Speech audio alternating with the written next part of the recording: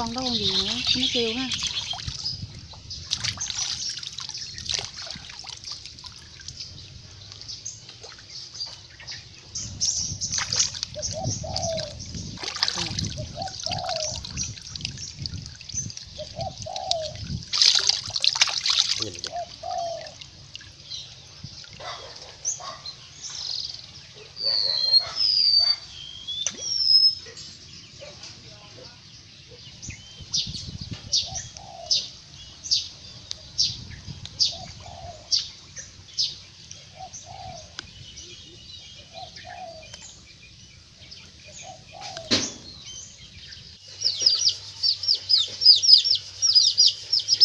Hôm nay để ốp cái món này cho ngon thì giờ mình đã có cái bọc ờ, nước sốt ờ, sẵn nè. Bây giờ người ta có bán ờ, nước sốt ốp, đồ nướng sẵn luôn. Ốp vô nó rất là ngon. Để rất là tiện lợi ha. Cái con vịt này được 3 kg 7 mình ốp nửa muỗng cà phê bột ngọt. 3 kg 7 ốp một nửa muỗng cà phê bột ngọt ha. Và nửa muỗng cà phê muối. Có thể hơn nửa muỗng cà phê muối cho thêm một ít ớt khô. Đây. Cho cái gói à, đồ nướng này vô và trộn đều lên. Đây khi khi mình pha đều hết rồi con vịt này mình sẽ ốp khoảng một giờ đồng hồ luôn bởi vì nó to quá nên thì mình xốp một giờ đồng hồ. Có thể bỏ vào trong à, ngăn mát tủ lạnh đó, thì càng tốt hơn.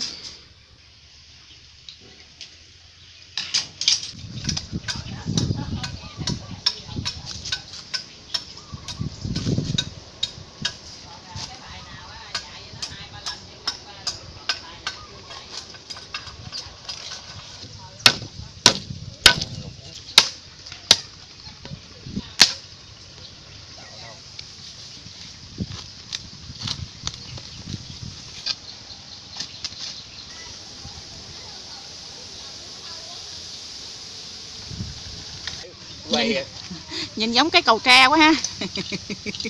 Cho thấy nó ngồi nó nó làm đu. Đầy ngọc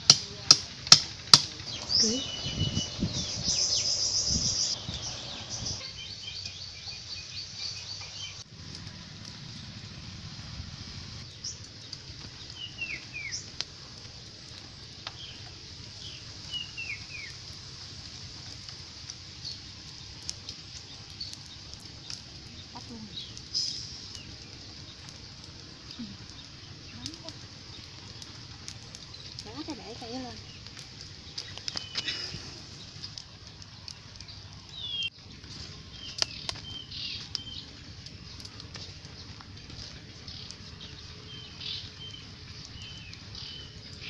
nó cầm cầm cái quay quay.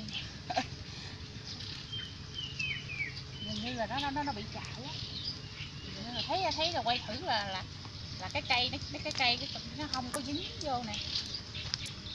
Thấy không? Đó. Là nó không nó không dính vô, nó bị nó bị xoay rồi. Bây giờ mình phải nghiên cứu cái này lại ha.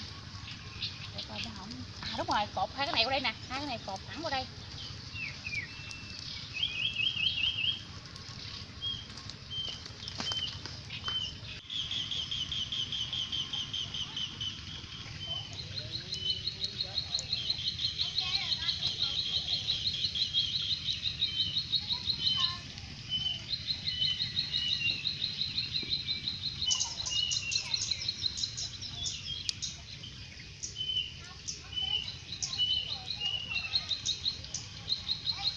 Đúng rồi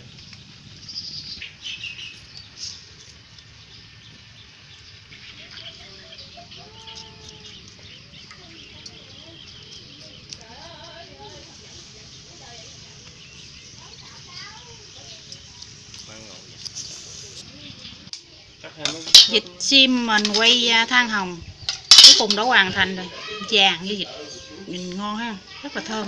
Xì xuống rồi mày. Đắp xuống. Chừa ra miếng ở trong kia kìa. Như con mèo luôn trời. Đi đây cái này mình quay à, bằng than cho nên à, có cái cái cái, cái chỗ này nó hơi à, đen một xíu nhưng mà như vậy thì nó mới chín được. Chín ha lần lần trước mình quay con chuột á cũng vậy nè. Đen đen một tí nhưng mà thơm ngon lắm bởi vì trong cái nước sốt của mình nó có đường ở trong á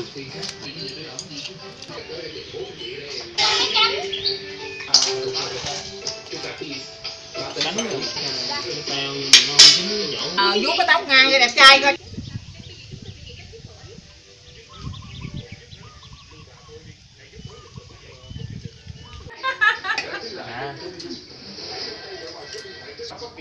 Này à, nó đen cái này nó vàng nè nó kỵ vô. Nè vô nè. Đó này màu đen nè thấy không? Vô nè vô kìa nè. cũng ly kìa. Sao không hiểu? Nè cái này màu đen nè cái đó màu vàng rồi hai. Không hiểu chứ biết đừng đúng rồi là khó hiểu nữa đó.